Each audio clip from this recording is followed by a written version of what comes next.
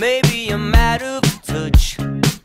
You could tell me what you want, I'll give it to you. Maybe you think too much, cause you're high.